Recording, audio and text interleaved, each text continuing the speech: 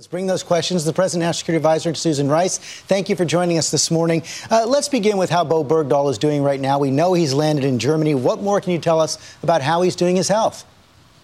Well, George, first of all, this is a joyous day. The fact that uh, he is now safely in American hands and will be reunited with his family and his community is incredible.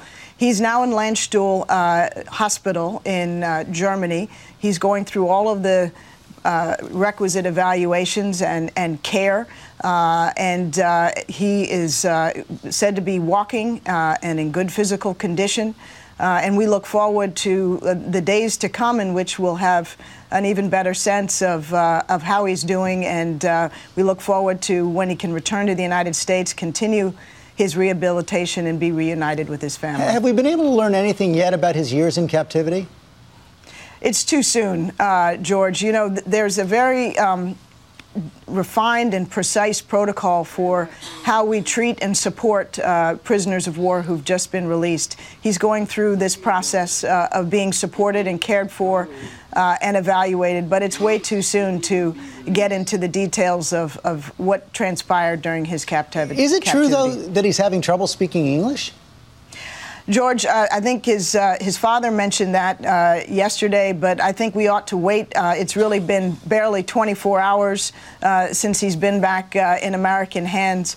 We need to see how he does in, in, as he goes through this evaluation. But our primary interest is in his health and well-being and his full recovery, and the opportunity for him to be reunited with his parents, whom I had the privilege to meet yesterday they're overjoyed as any of us would be as parents, and all of us are as Americans, because finally, after almost five years, he'll be home. And this has been an almost five year effort to bring him home. The U.S. has gotten close before. What made the difference this time?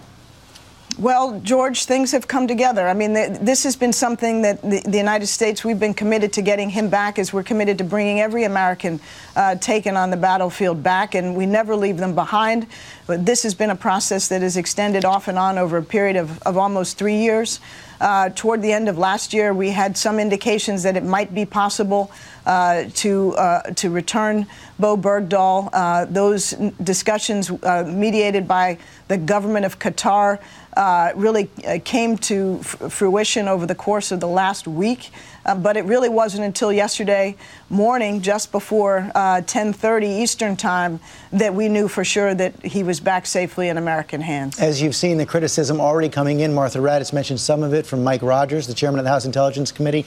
We also have the top Republicans on the Armed Services Committee saying this is going to put Americans at risk, uh, threaten American lives because you broke the policy of trading uh, with terrorists. What's your reaction to that? Well, George, this is uh, this is a very special situation. Uh, Sergeant Bergdahl wasn't simply a hostage; he was an American prisoner of war, captured on the battlefield. We have a sacred obligation that we have upheld since the founding of our republic to do our utmost to bring back our men and women uh, who were taken in battle, uh, and we did that in this instance. If for some reason uh, we took a position now in the 21st century when some of our adversaries may not be traditional state actors that we would not do our utmost to, to bring our prisoners of war home, uh, that would break faith with the American people and with the men and women who serve in uniform. So, regardless of who may be holding an American prisoner of war, we must do our best to bring him or her back. Also, questions about whether the president violated the law. That charge is coming from Congress as well, that he was supposed to notify members of Congress before the transfer of any Gitmo detainees. Well, George, in, in fact, what we had to do and what we did do, uh, consistent with the president's constitutional authority as commander in chief, is prioritize the health of Sergeant Bergdahl. We had reason to be concerned that, uh, that this was an urgent and acute situation, that his life could have been at risk. We did not have 30 days to wait, and had we waited and lost him, uh, I don't think anybody would have forgiven uh, the United States government. We have, uh, in the past, had extensive consultations with Congress. They were well aware that this idea and this prospect uh, was one that the administration was seriously considering.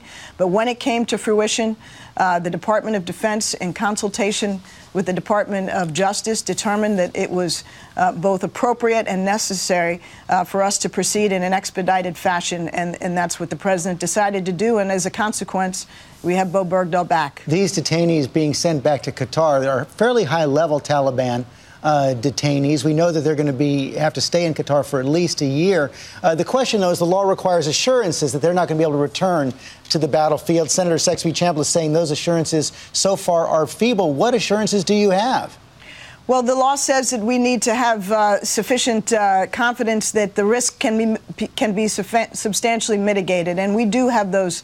Uh, we do have that confidence based on a detailed understanding with the government of Qatar, based on President Obama's personal communication with the Emir of Qatar on Tuesday, when it looked like this possibility uh, might be uh, imminent, and those assurances uh, relating to the movement, the activities, the monitoring of those detainees give us confidence that they cannot and, and in all likelihood will not pose uh, a significant risk to the United States and that it is in our national interest that this, uh, this transfer have been but, made. But what are those assurances and what happens after a year? In the past, we have seen high level Taliban's who've been released go back to the battlefield.